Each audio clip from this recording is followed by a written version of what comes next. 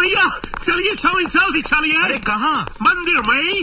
मंदिर में? अरे मंदिर से तो मैं आ रहा हूँ। मंदिर में नहीं उस मंदिर में। फ़िल्म के अंदर एक सीन इस लोकेशन से लिया गया है। इसकी शक्ल कुछ जानी पहचानी लगती जम्बो कौन है ये? और ये हमारे एक्स में नहीं जुड़ेंगी।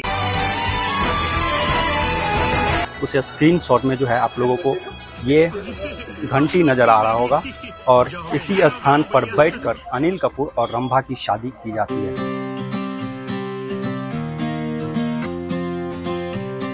दोस्तों, उन्नीस सौ अंठानवे ईस्वी में एक फ़िल्म आई थी। उस फ़िल्म का नाम था घर वाली बाहर वाली। हिंदी सिनेमा के इतिहास में यह एक काफ़ी सफल फ़िल्म रही थी। इस फ़िल्म के मुख्य किरदार में नज़र आए थे अनिल कपूर, रवीना टंडन, रंभा और कादर खान। इस फ़िल्म को नेपाल की राजधानी काठमांडू के अंदर कुछ खूबसूरत लोकेशन पे फिल्माए गए थे। उन सभी शूटिंग लोकेशन को आज हम लोग घूमने वाले हैं। तो कैसे हो मेरे प्यारे प्यारे दोस्तों? स्वागत है आप सभी का आज की इस नई वीडियो में। और दोस्तों, आज हम लोग पहुँचे हैं काठमांडू में मौजूद शंभुनाथ टेंपल तो दोस्तों, देख रहे हैं ये सीढ़ियाँ कितनी ज़्यादा ऊँची हैं। नीचे मेन रोड से टेंपल के अंदर तक जाने के लिए टोटल तीन सौ पैंसठ सीढ़ियाँ चढ़नी होती हैं। और काफ़ी कठिन है, बट ज़्यादा टाइम नहीं लगा हम लोगों को नीचे से ऊपर तक आने में। अराउंड पंद्रह मिनट पंद्रह मिनट के ट्रैकिंग में हम लोग बस पहुँच जाएँगे ऊपर। और यहाँ पे जो है आप, देखिए, पेड़ पे दो मंकी बैठे हुए हैं। बंदरों की संख्या जो है यहाँ पे काफ़ी ज़्यादा है। इस वजह से इस टेंपल को मोंकी टेंपल के नाम से भी लोग जानते हैं। काफ़ी फ़ेमस है। दोस्तों, इस फ़िल्म के कहानी के अंदर अनिल कपूर जो होते हैं, वो बिज़नेस के सिलसिले में नेपाल आते हैं। और नेपाल में उनके साथ एक इंसिडेंट हो जाता है, जिस वजह से उनको एक नेपाली लड़की मनीषा के साथ शादी करनी पड़ती है। वो शादी वाला जो सीन है, इसी टेंपल के अंदर जो है, फिल्माया गया था। तो देखिए हम लोग तकरीबन आधा से ज़्यादा सीढ़ियाँ चढ़ चुके हैं और यहाँ से देख सकते हैं आप लोग कि हम लोग कितना मतलब कि हाइट पे आए हैं। और यहाँ से जो है, काठमांडू का पूरा शहर आप लोगों को देखने के लिए मिलेगा। थोड़ा सा जूम करके दिखाना। जूम करोगे तब घर सब दिखेगा। क्या? क्या गजब का व्यू आ रहा है। जब अनिल कपूर का जो फ्रेंड होता है, वो अनिल कपूर की शादी एक नेपाली लड़की से करा देता है। यह बोल के कि मंदिर के अंदर एक पूजा है, बस उसमें सम्मिलित होना है। लेकिन फ़िल्म के अंदर जो है अनिल कपूर की शादी हो जाती है। तो शादी होने के पश्चात जो है एक सीन इस लोकेशन से मतलब कि दिखाया गया है, जब वो मनीषा को लेके आगे की तरफ़ जाता है। और एक सीन में आप लोगों को बुद्धा स्तूपा का ये सीन दिखाई पड़ता होगा। तो जैसे कि आप लोग जो है स्क्रीन शॉट से मैच करके भी देख सकते हैं। यहाँ से जो है सीन दिखाया गया है। दोस्तों टेंपल में जो एंटर करने के बाद सबसे पहले हम लोगों को एक काफ़ी बड़ा सा स्तूपा देखने को मिलता है, जो कि लॉर्ड बुद्धा को समर्पित है। और चलिए फिर अंदर चलते हैं और सारा कुछ हम लोग देखते हैं। टेंपल के अंदर आपको इस तरह के पूजा सामग्री के दुकान मिल जाएँगे, जहाँ पे आप खरीदारी कर सकते हो। और ये जो है, ये हो गया आपको मेन स्तूफा टेंपल के अंदर सबसे बड़ा स्तूपा यही है, और इसके पश्चात आप लोगों को मंदिर के अंदर, ये देखिए सामने, इस तरह के छोटे छोटे स्तूपा जो हैं, वो काफ़ी सारे देखने को मिलेंगे। दोस्तों टेंपल के अंदर आने के बाद आपको भारी मात्रा में यहाँ पे जो है, विदेशी पर्यटक भी देखने को मिलेंगे, जो विदेशों से नेपाल घूमने के लिए आते हैं।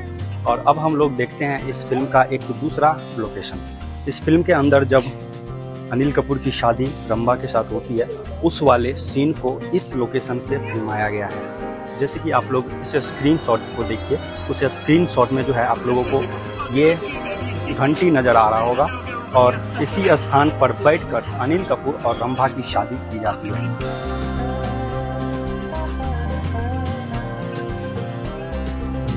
दोस्तों, फ़िल्म के अंदर एक सीन इस लोकेशन से लिया गया है। जब अनिल कपूर का जो फ्रेंड होता है, वो उसकी शादी रंबा के साथ करवा देता है और बाद में जब अनिल कपूर को पता चलता है कि उसकी शादी हो गई एक नेपाली लड़की से, वो वाले सीन को इस लोकेशन से लिया गया है क्योंकि इस लोकेशन से जो है, ये शंभुनाथ स्तूपा का ये वाला सीन दिखाई पड़ता है, जहाँ पे आप इन स्तूपा में ये दो आँखें देख सकते हैं।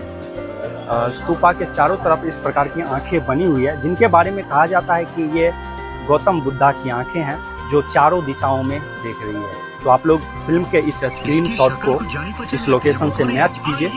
एग्जैक्ट यही लोकेशन। और यहाँ से अब हम आप लोगों को लेके चलेंगे थोड़ा सा नीचे। दोस्तों यहाँ आने के लिए आप सीढ़ियों सीढ़ियों से चढ़ के भी आ सकते हैं और अगर आप बाइक से या फिर टैक्सी वगैरह से आना चाहते हैं तो उससे भी आ सकते हैं। तो टैक्सी से आने के लिए आपको काफ़ी लंबा जो है ट्रैवल करना होगा। लेकिन अगर आप सीढ़ियाँ चढ़ के आते हैं तो कम समय में आ सकते हैं। तो चलिए नीचे चलते हैं और नीचे का भी काफ़ी सारा सीन है जो कि दिखाया गया है। और यहाँ का आप देख सकते हैं, मंदिर के अंदर आपको काफ़ी भारी मात्रा में पर्यटक देखने को मिलेंगे, जो यहाँ पे घूमने के लिए आते हैं। और यहाँ से ये जो सीढ़ियाँ हैं, ये नीचे की तरफ़ से जाती है और यहाँ से मतलब कि व्हीकल से लोग आते हैं। तो चलिए चलते हैं हम लोग। और आगे भी काफ़ी कुछ है देखने के लिए और काफ़ी सारे लोकेशंस को दिखाया गया है। यहाँ पे आपको खाने पीने की सामानें भी मिल जाएँगी। पीछे फ्रूट्स वगैरह बिक रहे हैं।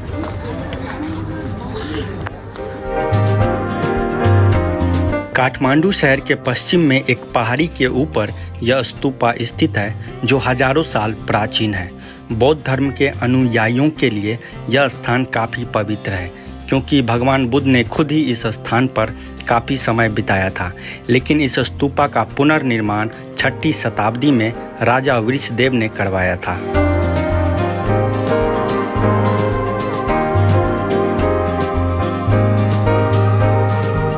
तो दोस्तों सीढ़ियों से चल के हम लोग नीचे आए और यहाँ पे आप देख सकते हैं कि काफ़ी सारी गाड़ियाँ जो है वो लगी हुई है। अगर आप व्हीकल से आना चाहते हो तो उससे भी यहाँ तक आ सकते हैं।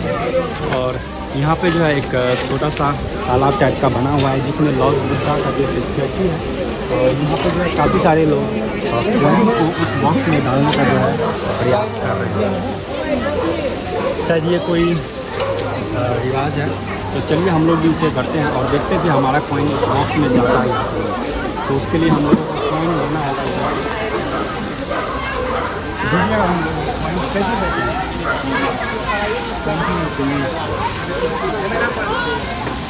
रुपीज़ का हम लोगों ने कॉइन ले लिया है और इसके अंदर हमें कितने कॉइन मिले हैं दो चार छः आठ दस बारह ट्वेंटी रुपीज़ के हम लोगों को बारह कॉइन मिले हैं। तो चलिए फिर हम लोग ट्राई करते हैं। देखते हैं कि उस बॉक्स में हमारा कोइन जाता है या नहीं।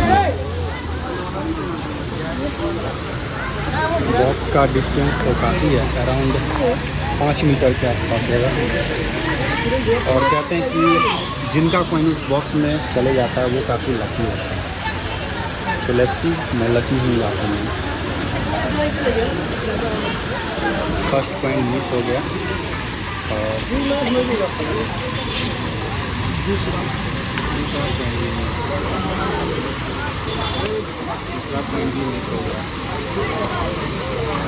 एक मुझे तो ना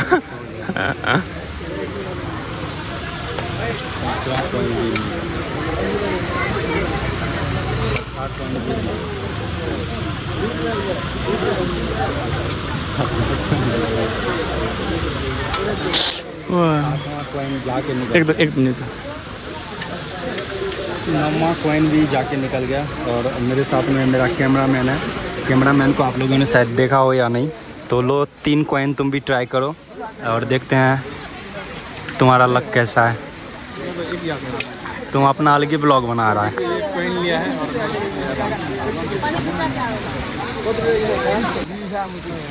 नॉट लकी ये भी चले गया। पूरा जाके निकल गया। निकल गया। तो भाई ये एक लॉर्ड बुद्धा का स्टेचू यहाँ पे बना हुआ है और यहाँ पे जो है लोग कोइन वगैरह उसमें डालते हैं। और यहाँ सामने एक वाटरफॉल जो कि है बना हुआ और काफ़ी खूबसूरत लग रहा है और ऊपर देख सकते हो काफ़ी सारी मंकीज़ आप लोगों को देखने को मिलेंगे। दैट्स वाई इस प्लेस को मंकी टेंपल के नाम से भी जाना जाता है। तो दोस्तों, आज हम लोग घूमे काठमांडू में मौजूद स्वयंभू नाथ टेंपल जिस लोकेशन पे नब्बे के दशक के सुपरहिट फ़िल्म घर वाली और बाहर वाली को फिल्माया गया था। तो यह वीडियो आप लोगों को कैसा लगा, आप लोग कमेंट सेक्शन में ज़रूर बताएँ। और इस फ़िल्म के अंदर जो एक नेपाली कल्चर दिखाया गया है कि अगर पति अपने पत्नी को शादी के पश्चात छोड़ देता है तो उस लड़की का सिर मुंडवा कर उसे अंडे और टमाटर फेंक के मारे जाते हैं और उसे भटकने के लिए ऐसे ही छोड़ दिया जाता है। तो क्या वाकई में ये कल्चर सही है या फिर नहीं? अगर आप में से कोई भी नेपाली दर्शक इस वीडियो को देख रहे हैं तो उसके बारे में कमेंट करके ज़रूर बताएँ। आशा करता हूँ कि यह वीडियो आप सभी लोगों को पसंद आया होगा। पसंद आया तो इसे लाइक, शेयर और सब्सक्राइब ज़रूर कीजिएगा। इसी तरह की वीडियो के साथ मैं आप लोगों को बहुत जल्द मिलूँगा। तब तक के लिए जय हिंद, वंदे मातरम।